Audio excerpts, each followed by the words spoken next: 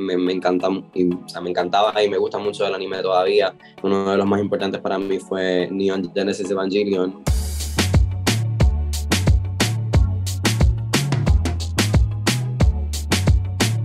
Hay muchos elementos y muchos personajes de los que me inspiré, todos femeninos y todas mujeres, que cargaron o que yo de chiquita me veía en ellas. Y pues ciertamente el nombre del álbum sí hace alusión a esa sustancia que hace que las chicas superpoderosas sean superpoderosas, porque de lo contrario, si la sustancia es X, las chicas superpoderosas serían las niñas perfectas y normales. Y en mi cabeza, pues escuchando ese intro una vez fue como que, ah, espérate, entonces pues me tiene sentido que las chicas superpoderosas son trans, porque iban a ser chicas normales, pero se añadió a lo que no iba y son superpoderosas.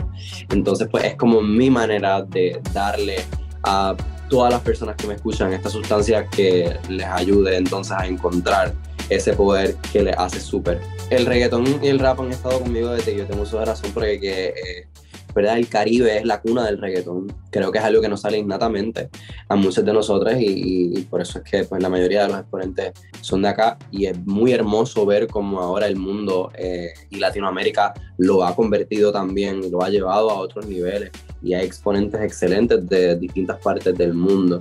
Heavy, ¿no? Estar frente a 20.000 personas y, y, ser parte de algo tan grande. Me siento súper honrada. Yo también pues, fui en la primera noche, que fue cuando se televisó y se vio en distintas partes de Latinoamérica y pienso que lo que más me llevo de todo eso y lo más que me gustó o que me hizo sentir eh, un sentimiento de satisfacción fue pensar en todas las familias que de seguro tienen eh, hijas, hijos, hijas eh, queer y trans, no entienden o no saben y que de momento vieron una persona que ese niño se puede identificar con, con, conmigo y como que saber que pues en el futuro puede llegar a hacer lo que quiera.